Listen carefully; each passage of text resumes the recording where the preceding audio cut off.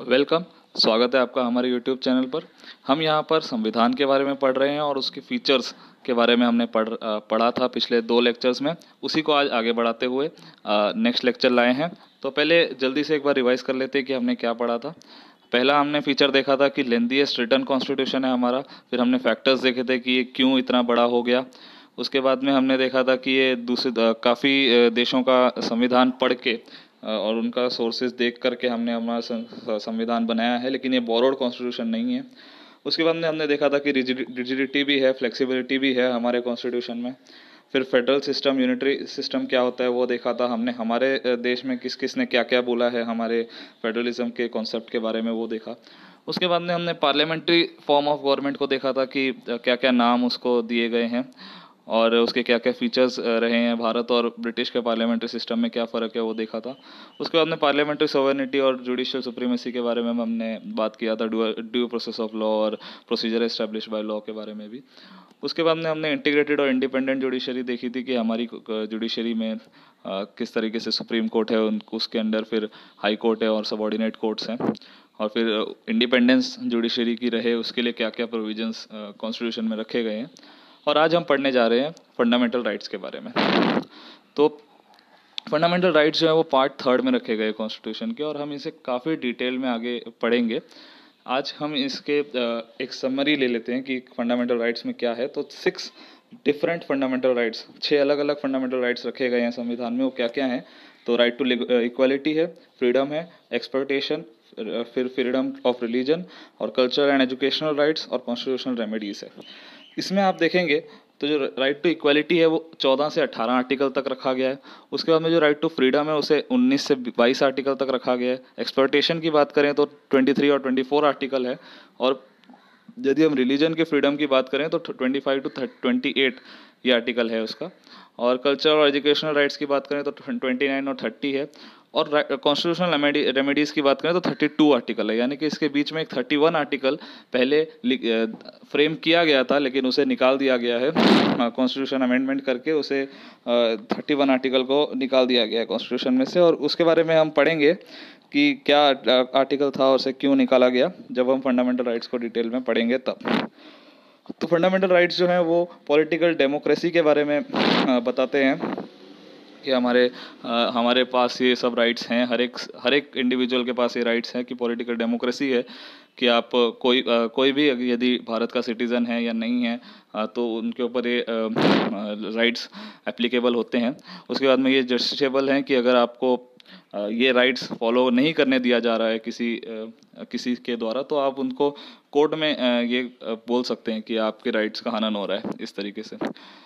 और fundamental rights जो हैं वो उनके ऊपर कुछ रिस्ट्रिक्शंस भी लगाई जाती हैं। जब इमरजेंसी लगाई जाती है देश में तो जो राइट्स हैं हमारे, ये रद्द हो जाते हैं। आप फिर क्लेम नहीं कर सकते कि हमारे राइट्स का हनन हो रहा है। तो उस समय केवल आर्टिकल 20 और 21 जो है, वो नेशनल इमरजेंसी में, ये याद रखने वाली बात है यहाँ पर कि कौन से राइट्स जो हैं हमारे, वो रद्द नहीं होते हैं। तो आर्टिकल्स 20 और 21 जो है, वो रद्द नहीं होंगे हमारे नेशनल इमरजेंसी के दौरान भी।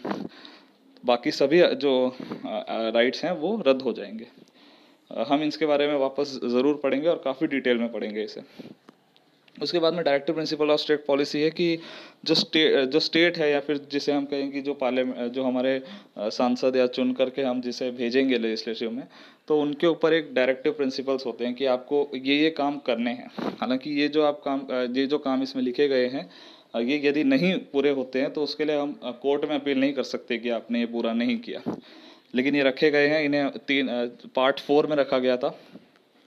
उसके बाद में जो बी आर अंबेडकर जी हैं, उन्होंने कहा था कि ये नोवल फीचर हैं हमारे कॉन्स्टिट्यूशन के। इन्हें तीन भागों में डिवाइड किया गया। कॉन्स्टिट्यूशन में ऐसा कोई डिवीज़न नहीं है। कि ये सोशलिस्ट हैं, ये गांधीयन हैं, ये लिबरल इंटेलेक्चुअल हैं, लेकिन हमने हमारे हिसाब से इसे तीन क्लासिफिकेशन इसका इस तरीके से तीन हिस्सों में किया है। और इस ये रखने का कारण ये था कि ये सोशल और इकोनॉमिक डेमोक्रेसी के बारे में बताते हैं कि आपको आप यदि चुन के जाते हैं तो आपको ये एक प्रिंसिपल देते हैं कि आपको ये चीज़ें डायरेक्शंस देते हैं कि आपको ये चीज़ें लागू करनी है हमारे देश में। और यदि आप नहीं करते हैं तो जो सिटीजन्स हैं, वो आपको अगली बार चुनकर नहीं भेजेंगे। ये उनकी रिस्पॉन्सिबिलिटी है। उसके बाद में कॉन्स्टिट्यूशन को कॉन्स्टिट्यूशन में जो मिनरवा मिल्स केस एक आया था 1980 में, उस समय जो फंडामेंटल राइट्स और डायरेक्टिव प्रिंसिपल्स है, उसके ऊपर ये केस आया था। और ये और केसेस भी आए थे, इनके बारे में हम डिटेल में आगे पढ़ेंगे। लेकिन क्वेश्चन ये था कि डायरेक्टिव प्रिंसिपल ज़्यादा महत्वपूर्ण है या फिर फंडामेंटल राइट्स तो ये सवाल के ऊपर सुप्रीम कोर्ट ने काफ़ी अच्छी तरह से जजमेंट दिया था। दो तीन केस इसके आए हैं, जिसके बाद हम अब हम जब हम पढ़ेंगे इनके बारे में तो आपको बताया जाएगा कि क्या डिसीज़न उसके निकल करके आया है। फंडामेंटल ड्यूटीज़ रखी गई थी जो संविधान में पहले नहीं थी। जब संविधान बना था हमारा, तब उस समय फंडामेंटल ड्यूटीज़ नहीं रखी गई थी। इसे forty second constitutional amendment act pass करके 1976 में रखा गया था हमारे कॉन्स्टिट्यूशन में। और इसका रिकमेंडेशन दिया गया था स्वर्ण सिंह कमेटी के द्वारा। जब जब ये अमेंडमेंट किया गया था फोर्टी सेकेंड अमेंडमेंट तब दस फंडामेंटल ड्यूटीज़ रख दी गई थी पार्ट फोर ए में। जैसे ही आपको ए दिखता है या बी दिखता है या फिर किसी भी आर्टिकल या पार्ट के आगे एक लेटर दिखता है तो उसका मतलब ये होता है कि वो अमेंडमेंट करके बाद में ऐड किया गया है। पहले ये संविधान में नहीं था। तो उसी तरह से पार्ट फोर ए में फंडामेंटल ड्यूटीज़ रखी गई थी उस समय दस फंडामेंटल ड्यूटीज़ रखी गई थी। और एट्टी सिक्स अमेंडमेंट करके हमने एक और फंडामेंटल ड्यूटी उसमें ऐड कर दी थी, यानी कि अब टोटल ग्यारह फंडामेंटल ड्यूटीज़ हमारे पास संविधान में है। उसके अंदर से कुछ ड्यूटीज़ यदि हम पढ़ें हालाँकि हम डिटेल में ज़रूर पढ़ेंगे, लेकिन इस समय कुछ अगर हम पढ़े तो respect our constitution and national flag and national anthem protect our sovereignty unity and integrity भाईचारा, यानी कि common brotherhood among all the people preserve rich heritage ये सभी जो और भी हैं इसमें, जो ग्यारह टोटल हैं तो ये सभी जो ड्यूटीज़ हैं, ये हमारे लिए, हमारे ऊपर ये ड्यूटी है कि हमें ये करना है। लेकिन यदि हम ये नहीं करते हैं तो कोई इसके लिए हमारे ऊपर केस नहीं कर सकता है। ये हमारा रिस्पॉन्सिबिलिटी है कि हमें ये करना है। लेकिन यदि हम नहीं कर पाते तो इसका कोई कोई नॉन जस्टिसेबल है ये, कि इसके ऊपर केस नहीं हो सकता, आप कोर्ट में नहीं जा सकते। कि जिस तरह से आप डीपीएसपी के लिए, यानी कि डायरेक्टिव प्रिंसिपल्स के लिए आप कोर्ट में नहीं जा सकते, उसी तरह से आप फंडामेंटल ड्यूटीज़ के लिए भी कोर्ट में नहीं जा सकते, लेकिन आप फंडामेंटल राइट्स के लिए कोर्ट में ज़रूर जा सकते हैं। उसी का आर्टिकल 32 है कि जिसमें यही लिखा गया कॉन्स्टिट्यूशनल रेमेडीज़ में कि आप कोर्ट में जा सकते हैं। काफ़ी इंपॉर्टेंट आर्टिकल है, हम डिटेल में ज़रूर पढ़ेंगे आगे। अगला प्रोविज़न हमारा है सेक्युलर स्टेट सेक्युलर ये शब्द हमारे कॉन्स्टिट्यूशन में कहीं नहीं लिखा गया था शुरुआत में। उसके बाद फोर्टी सेकेंड अमेंडमेंट जो की की गई थी 1976 में, उसमें सेक्युलर शब्द ऐड कर दिया गया था प्रियम्बल में। प्रियम्बल हमारे कॉन्स्टिट्यूशन से पहले लिखा गया है, उसके आगे फिर आपको आर्टिकल्स देखने को मिलेंगे और प्रियम्बल प्रियम्बल हमारे कॉन्स्टिट्यूशन का पार्ट है या नहीं, इसके ऊपर भी काफ़ी डिबेट रहा है, उसके बारे में भी हम पढ़ेंगे। तो ये वर्ड ऐड किया गया था फोर्टी सेकेंड अमेंडमेंट के द्वारा। और जो भारत के सिटीजन्स हैं, उनको लिबर्टी दी गई है बिलीफ फेथ वर्शिप की। उसके बाद में लॉ ऑफ़ इक्वल प्रोटेक्शन दिया गया है। आर्टिकल 14 आर्टिकल 15 है इसके लिए, जिसके अंदर डिस्क्रिमिनेशन के बारे में बात किया गया है कि रिलीजन के बेस पर डिस्क्रिमिनेट नहीं कर सकते हम किसी को भी। तो ये सब आप देख रहे हैं कि आर्टिकल 14 और 15 की बात की गई है तो ये राइट टू इक्वालिटी के अंदर आता है, जो फंडामेंटल राइट्स में हमने देखा था 14 टू 18 राइट टू इक्वालिटी है जैसे हम देख सकते हैं यहाँ पर। हाँ देखिए राइट टू इक्वालिटी जो है वो 14 टू 18 आर्टिकल में है तो यानी 14 और 15 आर्टिकल की यहाँ बात की जा रही है, जो सेक्युलर स्टेट की तो वो राइट टू इक्वालिटी में आता है। उसके बाद हम देख रहे हैं राइट टू जो फ्रीडम है, दिया गया है कि आप कोई भी रिलीजन आपका प्रोपागेट कर सकते हैं प्रैक्टिस कर सकते हैं। आर्टिकल 25 में आर्टिकल 26 में लिखा गया है कि हम ये सभी आर्टिकल्स को हम डिटेल में पढ़ेंगे आगे। इस समय हम ये देख रहे हैं कि ये सभी आर्टिकल्स में दिया गया है कि आप रिलीजन के रिलेटेड क्या क्या आप कुछ आप कर सकते हैं यहाँ देश में हमारे। सेक्युलरिज्म का कॉन्सेप्ट यहाँ पर डिफाइन होता है। उसके बाद में आर्टिकल 27 में लिखा गया है कि कोई प्रमोशन आप किसी पर्टिकुलर रिलीजन का जब करना चाहते हैं तो उसके लिए कोई टैक्स वगैरह पे नहीं करना होता है। जैसे कि पहले आप यदि हिस्ट्री में पढ़ेंगे तो एक जजिया टैक्स टैक्स हुआ करता था। जिसे कि बाद में कैंसिल कर दिया गया था। तो उस तरीके का कोई टैक्स किसी भी रिलीजन के ऊपर नहीं लगाया गया उसके बाद में जो स्टेट के द्वारा ये आर्टिकल 28 की बात करें तो काफ़ी इंपॉर्टेंट आर्टिकल ये इसलिए क्योंकि जो स्टेट के द्वारा मेंटेन किए गए एजुकेशनल इंस्टीट्यूशंस हैं। उसमें आप कोई भी रिलीजन रिलीजियस इंस्ट्रक्शन फॉलो नहीं कर सकते। स्टेट यहाँ पर एक बहुत ही महत्वपूर्ण वर्ड है यदि यदि वो स्टेट जो भी इंस्टीट्यूशन है वो स्टेट के द्वारा मेंटेन नहीं किया गया तो आपके पास छूट है कि आप कोई भी रिलीजियस इंस्ट्रक्शन दे सकते। लेकिन यदि स्टेट के द्वारा मेंटेन्ड है तो आप कोई भी रिलीजियस इंस्ट्रक्शंस वहाँ पर नहीं दे सकते। तो ये आर्टिकल 25, 26, 27, 28, 29 और 30 ये सभी आर्टिकल्स आप देखेंगे तो फंडामेंटल राइट्स में आपको right to freedom of religion और कल्चरल और एजुकेशनल राइट्स इसके अंदर आपको देखने को मिल जाएगा। उसके बाद में आर्टिकल 44 है, जिसमें लिखा गया है कि एक यूनिफॉर्म सिविल कोड होना चाहिए सिटीजन्स के ऊपर और ये जो आर्टिकल है, ये आता है हमारे डीपीएसपी में, जो कि डायरेक्टिव प्रिंसिपल्स है, उसके अंडर आएगा। और यानी कि ये आप कोर्ट में इसके खिलाफ नहीं जा सकते। ये एक प्रोविज़न है कि आपको ये देना है।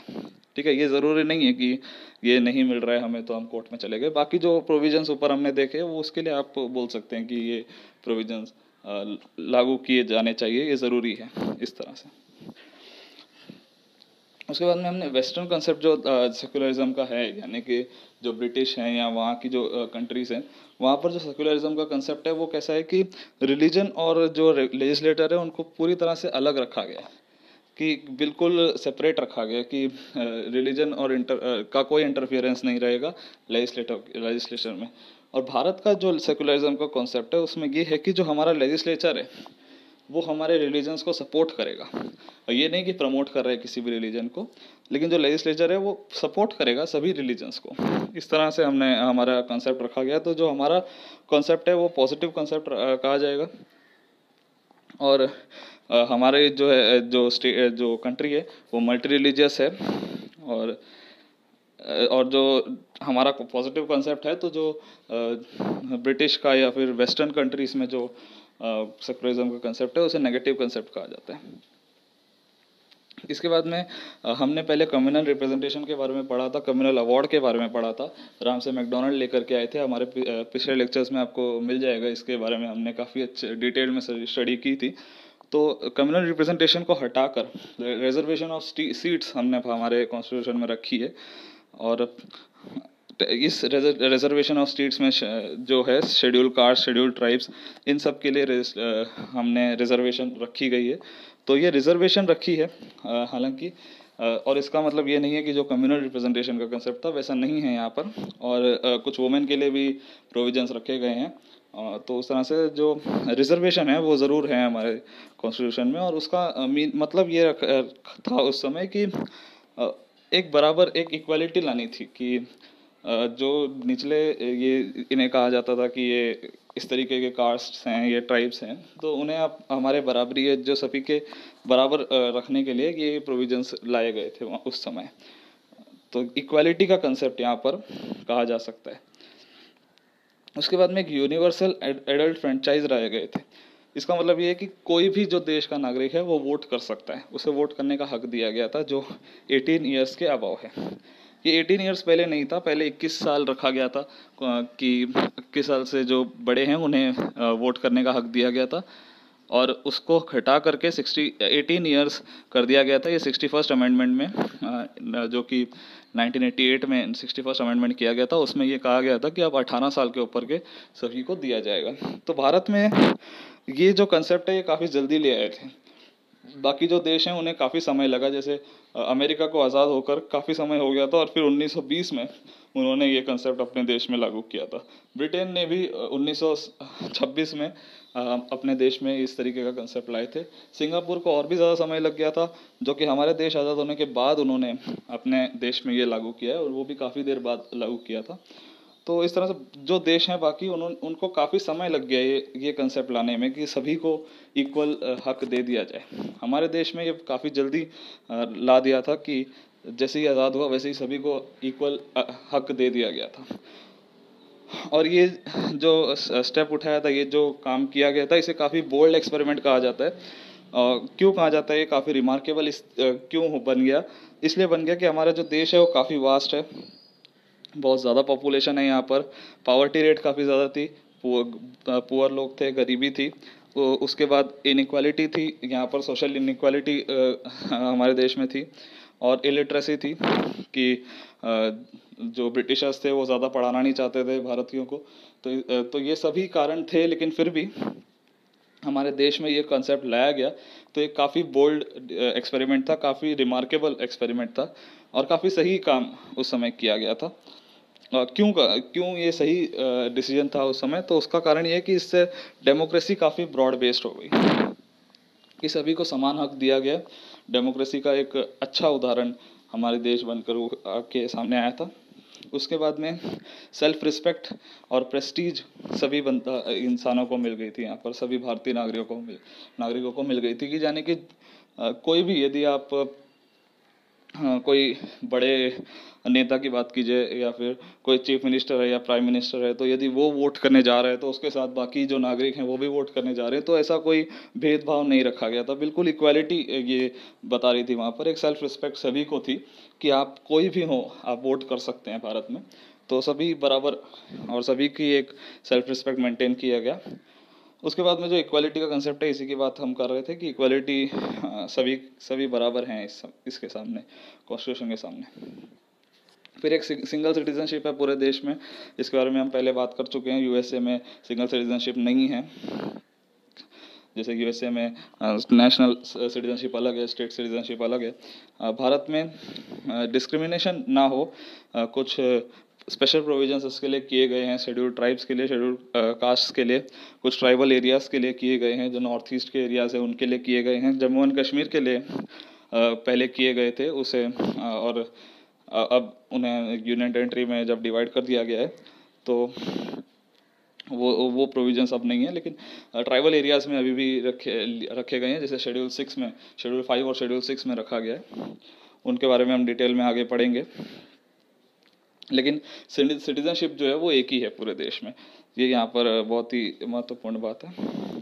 उसके बाद में कुछ इंडिपेंडेंट बॉडीज़ बनाई गई है, जो कि संविधान से अलग है। यानी कि संविधान में ये नहीं है कि किसी को इन्हें फॉलो करना है। ये अपने आप इंडिपेंडेंट अपना काम कर सकते हैं, ये खुद अपना डिसीज़न ले सकते हैं। तो ये कैसी बॉडीज़ थी? तो इलेक्शन कमीशन एक बॉडी है उसमें से जो पार्लियामेंट के, स्टेट लेजिस्लेचर के और प्रेसिडेंट और वाइस प्रेसिडेंट के इलेक्शंस करवाता है। तो ये एक इंडिपेंडेंट बॉडी है, ये खुद ही इलेक्शंस करवा सकता है, ये अपना डिसीज़न ले सकता है कि कब डिसीज़न कब तो तो कब इलेक्शंस करवाने ये डिसीज़न खुद इलेक्शन कमीशन कभी भी ले सकता है। उसके बाद सीएजी है comptroller and auditor general of India ये ऑडिट करता है अकाउंट्स का कि जो सेंट्रल और स्टेट के अकाउंट्स है एक्सपेंडिचर है, उन सब के बारे में अकाउंट करता है कि किस तरह से खर्चा हो रहा है, क्या उन सभी चीज़ों को अकाउंट करता है। इसका बारे में हम डिटेल में काफ़ी अच्छे से पढ़ेंगे ये सभी बॉडीज़ के बारे में। फ़िलहाल हम ये समझ लेते हैं कि कौन सी कौन सी बॉडीज़ इंडिपेंडेंट है। उसके बाद में यूपीएससी है यूनियन पब्लिक सर्विस कमीशन ये एग्ज़ाम्स कंडक्ट कराता है और साथ में ही एडवाइस करता है प्रेसिडेंट को कुछ डिसिप्लिनरी मैटर्स के बारे में। फिर स्टेट पब्लिक सर्विस कमीशन है, जैसे कि हमने यूनियन देखा देश भर वैसे ही अपने अपने स्टेट्स का भी अपना सर्विस कमीशन है, जो कि काम उनका सेम है। लेकिन जैसे यूनियन की जो पब्लिक सर्विस कमीशन है, वो प्रेसिडेंट को एडवाइस करता है, वैसे ही स्टेट पब्लिक सर्विस कमीशन जो है, वो गवर्नर को एडवाइस करता है। तो ये सभी जो इंडिपेंडेंट बॉडीज़ है इनका जो एक्सपेंसेस है वो कंसोलिडेटेड फंड ऑफ़ इंडिया से आता है और इंडिपेंडेंस इन सब की किसी तरह का इस तरह से मेंटेन्ड है जैसे हमने पहले जुडिशरी के बारे में पढ़ा था कि उनका टेन्योर फिक्स रहता है उनको सर्विस कंडीशन फिक्स है उनकी तो ये भी उसी तरह से इंडिपेंडेंट है। उस, उसके बाद में हमने हम एमरजेंसी प्रोविजंस के बारे में बात कर लेते हैं कि ये एक एक्स्ट्रा ऑर्डिनरी सिचुएशंस है। जो कि प्रेसिडेंट के हाथ में ये पावर रहती है कि एक्स्ट्राऑर्डिनरी सिचुएशंस को लागू किया जा सके देश में। तो तीन तरीके की इमरजेंसीज होती है देश में। नेशनल इमरजेंसी वो इमरजेंसी होती है कि जब एक्सटर्नल एग्रेशन यानी कि किसी देश से हमारे कोई लड़ाई चल रही हो या या फिर आर्म रेमेलियन हो। और आर्म रेमेलियन जो ये वर्ड है, ये बाद में चेंज किया गया था क्योंकि ये पहले आर्म रेमेलियन नहीं था यहाँ पर। यहाँ पर इंटरनल डिस्टर्बेंस ये वर्ड यूज़ किया जाता था। तो जब देश देश में आर्म्ड रेवेलियन होगा, ये सही वर्ड इस समय इस समय है। तब नेशनल इमरजेंसी लगाई जाएगी। आर्टिकल 352 में लिखा गया है। उसके बाद में स्टेट इमरजेंसी है, जैसे कि प्रेसिडेंट्स रूल भी कहा जाता है। तो इसके अंदर दो दो कारण है जब स्टेट इमरजेंसी लगाई जा सकती है। पहला कारण ये है कि जब कॉन्स्टिट्यूशनल मशीनरी फेल हो जाए स्टेट्स में, यानी कि स्टेट जो है वो कॉन्स्टिट्यूशन को फॉलो नहीं कर रहा हो किसी वजह से तो प्रेसिडेंट रूल लगाया जा सकता है। वो 356 आर्टिकल में लिखा गया है। या फिर जो सेंटर ने आदेश दिए हैं सेंटर का जो डायरेक्शन है उसे फॉलो नहीं कर रहा है। तब प्रेजिडेंट्स रूल लगाया जा सकता है। ये लिखा गया आर्टिकल 365 में। उसके बाद फाइनेंशियल इमरजेंसी है। जब फाइनेंशियल स्टेबिलिटी पर आ, कोई थ्रेट हो तब ये लगाई जाती है। 360 आर्टिकल में लिखा गया और जब इमरजेंसी लगाई जाती है, तब सेंट्रल गवर्नमेंट पूरी तरह से पावरफुल हो जाती है और फेडरल सिस्टम को यूनिटरी सिस्टम में तब बदल दिया जाता है। तो यदि आपसे कोई सवाल पूछे कि फेडरल सिस्टम जो हमारा है, वो यूनिटरी सिस्टम में कब चेंज हो जाता है तो वो इमरजेंसी के दौरान चेंज हो जाता है। तो ये इस तरीके से इसका जवाब होगा। उसके बाद में थ्री टायर सिस्टम है। ये हमारा लास्ट फीचर है हमारे कॉन्स्टिट्यूशन का, कि थ्री टायर गवर्नमेंट है हमारे देश में। एक सेंटर पर है, एक स्टेट पर है, और एक जो हम हमने थर्ड सेवेंटी थर्ड और सेवेंटी फोर्थ अमेंडमेंट करके पंचायत और म्यूनसिपैलिटीज़ को ऐड किया गया तो वो थर्ड टायर गवर्नमेंट हो गई। सेवेंटी थर्ड अमेंडमेंट किया गया था 1992 में।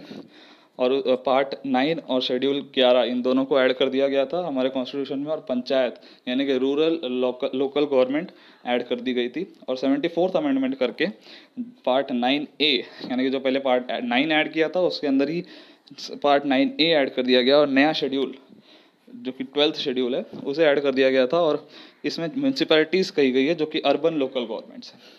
तो इस तरह से हमने आज फीचर्स ऑफ़ गवर्नमेंट हम फीचर्स ऑफ़ हमारा कॉन्स्टिट्यूशन हम हमने पूरा कर लिया है। इसके अंदर आपको कोई भी डाउट है या फिर पहले के जो भी लेक्चर्स है उसमें कोई भी डाउट है तो कमेंट सेक्शन में लिख दीजिएगा। और आगे हम नेक्स्ट जो हमारा टॉपिक होगा वो होगा प्रियम्बल के बारे में। हम प्रियम्बल के बारे में डिटेल में पढ़ेंगे कि प्रियम्बल में क्या लिखा गया है। अमेंडमेंट कुछ की गई होंगी तो कब की गई होंगी और अमेंडमेंट हमारे कॉन्स्टिट्यूशन का पार्ट है या नहीं इन सब के बारे में हम डिटेल में पढ़ेंगे अगले लेक्चर में। और मिलते हैं नेक्स्ट लेक्चर में। Thank you